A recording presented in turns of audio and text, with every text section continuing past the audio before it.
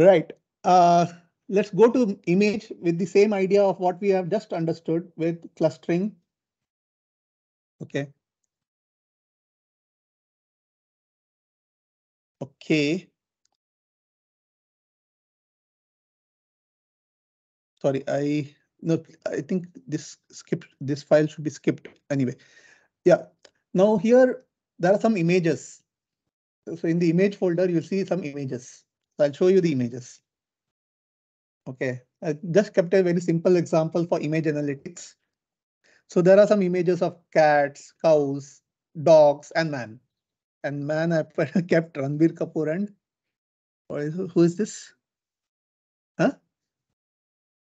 Vicky Kaushal. Okay, so now our here objective is to do a clustering of images. So can we have machine understanding who is a cat, who is a dog, or who is a man?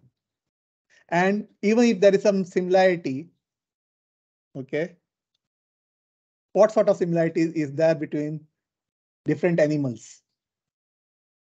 Okay. Okay.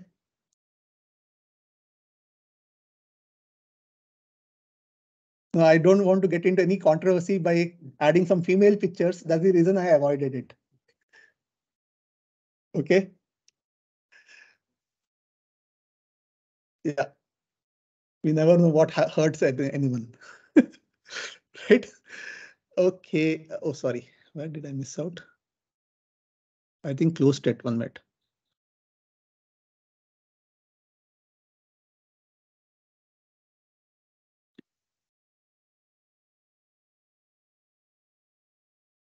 Okay, so let's uh, now you got the idea, right? So that is the use case here. So let's look at the clustering, and this is using the image analytics, which is available as an add-on. Okay, so as I said, some of them are not available by default, so you have to install that. Now in your systems is installed already as an add-on, but if you are trying to do this again, so you may have to install that. Okay. Right. So let me explain. It's very simple. Now that you have got an idea of hierarchical clustering, so now the same idea, I'm conveying it here in the images. OK, so the first thing what we do is import the images. So I have kept it in the folder, all the images what I have there. So you just have to import that file out here. OK. So import images, you can see what folder. So you can just access that folder and place it right? And you can even try out with new images, dumping in there and then trying out. So you can do that. Save some PG, JPG files there. So all sort of images you can try.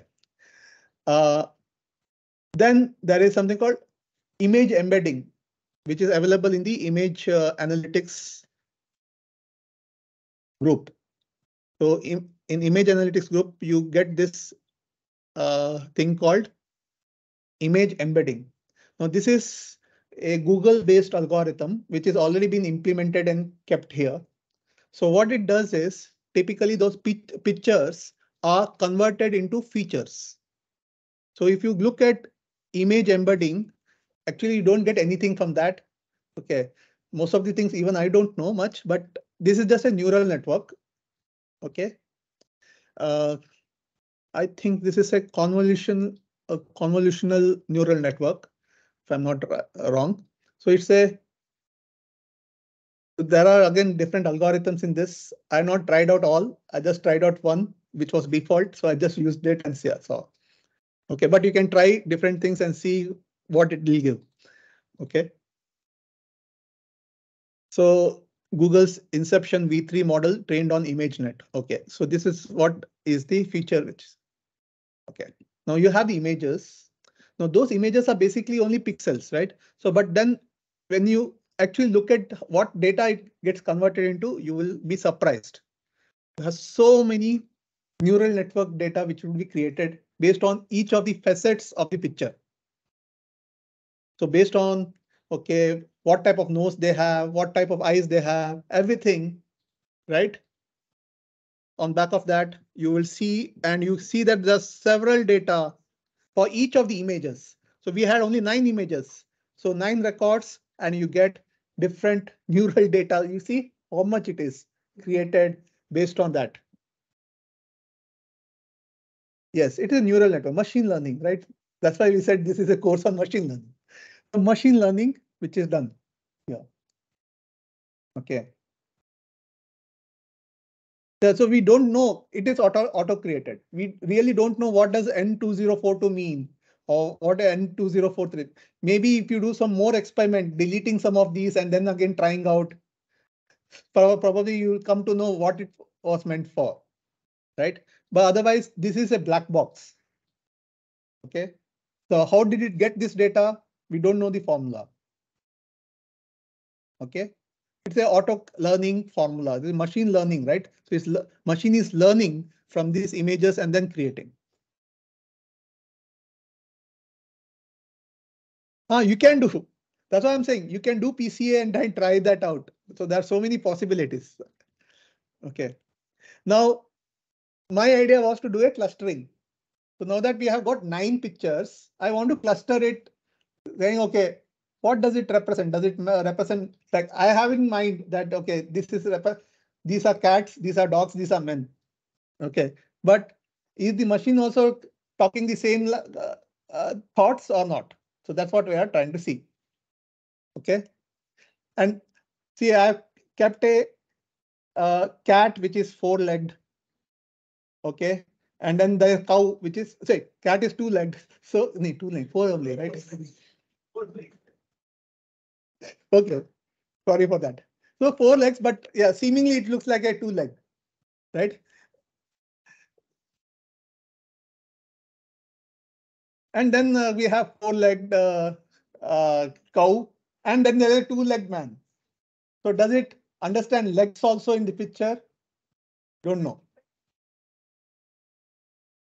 Yeah, that, that it will figure it out. Okay, neural network. See, uh, with this, we can even figure out the doppelgangers. Doppelgangers, we say no, uh, like for instance, if you want to figure out uh, whether they will uh, put, uh, say, Aishwarya Rai and uh, there was one more lady who was look alike, or Zareen Zareen Khan and Katrina Kaif. Okay, I did try that out. That's the reason I didn't put the images here for the workshop. Okay, I did try out these things. can uh, doppelgangers be identified? Okay. Right. Uh, but you can try that out anyway, right? So it's a matter of just get, get, getting uh, getting the images and placing it in that folder.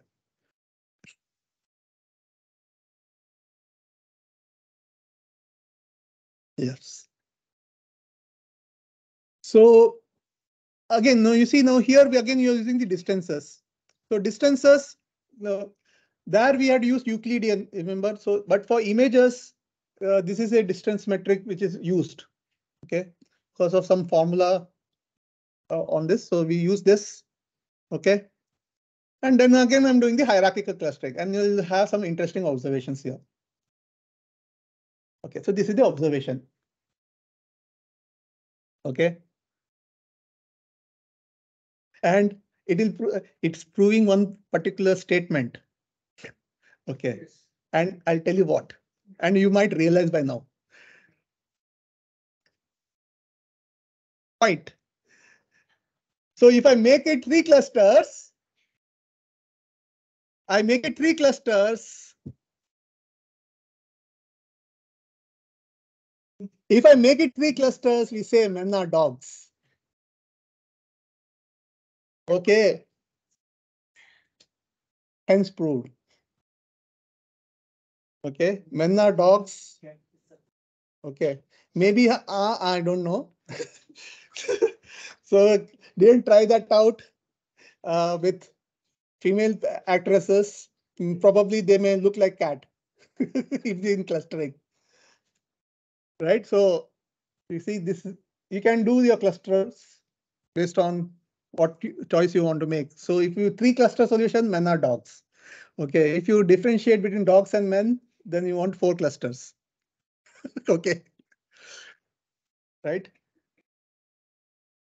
But you can see that now those cat, cat one, cat two, cat three are just given the name of the file like that. Just for resemblance purpose, we can figure out that. Not using. No, the name of the file. No. There was a choice somewhere, I feel, I feel, pick name of the file also. Ah, there was a correct, correct. I did. I did. Yes, yes. The image name is here only. You can use the annotation in image name. So image name deliberately I gave that uh, the file name is the image name actually. So that's why it's given this. Well, the word mouse should be things like that. So yeah, so pretty much that. And then you can actually look at the images with the clusters being formed. So you can look at the image viewer. In the image viewer, you see, you can even see the pictures with their clusters.